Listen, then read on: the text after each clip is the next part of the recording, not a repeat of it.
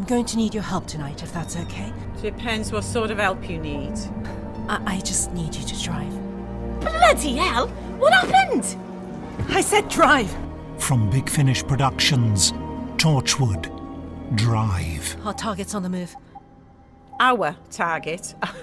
Listen, I'm just a driver. It'll be pretty bad. It could take out half the city centre. I've got my husband at home eating a curry. I've got my daughter going on about her boyfriend troubles. I'm going to be a grandmother in three weeks. I got a life. Why should I help you? We got company. Who? Two cars, load of men got out. Some of them had guns. Oh, God. Take my hand. What? No. They will kill us. Take my hand.